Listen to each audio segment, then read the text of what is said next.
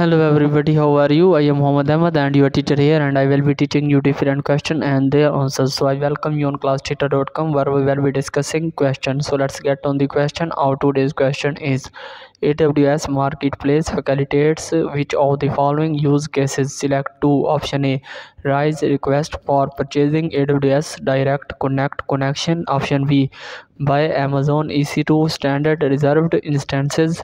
Option C purchase compliance documents from third party vendors.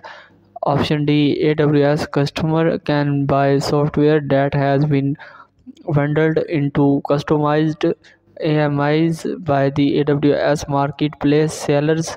Option E sell SaaS solutions to AWS customers. The correct answer of the question option D.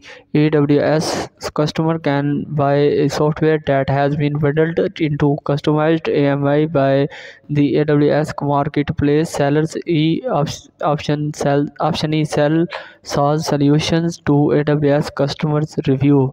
So that's the correct answer of the question. If you have any question, just leave a comment. I will be answering you as soon as I can. Thank you very much for watching the video. Please don't forget to like, share and subscribe our channel until next question bye bye